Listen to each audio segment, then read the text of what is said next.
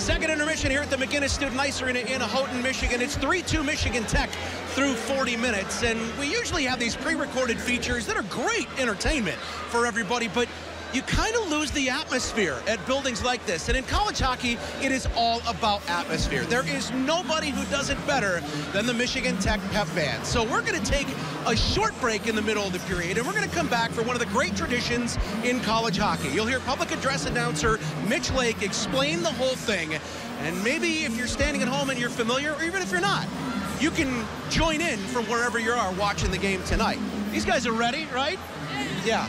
I mean, they don't look it now, but they're saving some energy because they're going to need it for the third period. 3-2 Michigan Tech through 40. This is college hockey CCHA type, presented by Boss Snowplow, here tonight on Fox UP and the Gray TV Network. And part of the atmosphere here is Time now this. for a Michigan Tech tradition that goes back longer than the Michigan Tech Northern hockey rivalry. More than 70 years. Let's have everyone get up on your feet, move to the center of your aisle, lock arms with your neighbors, even if they're from Marquette, as the Michigan Tech Pep Band plays the Copper Country Anthem.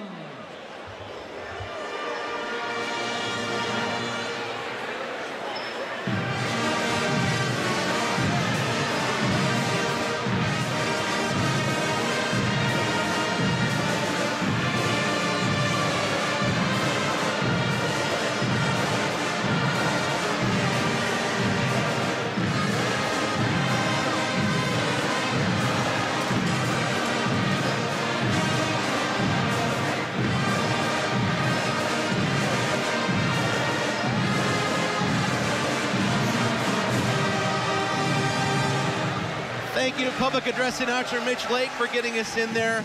If you need a little more of the backstory, because it's almost Winter Carnival week here, Mark Evans, here's how this goes. Frankie Yankovic, the Polka King, was here playing Winter Carnival. And for a week leading up to it, all you could hear on the radio station in town, WHDF, was polka music. So when they finally got to the games at the old Dee Stadium, the announcer says, I'm so tired of this. They're going to play another polka, aren't they?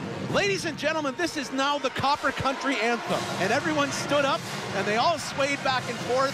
And almost 80 years later, it is one of the great traditions in college hockey that when you hear that song, the Blue Skirt Waltz, it has meaning for everybody around the sport.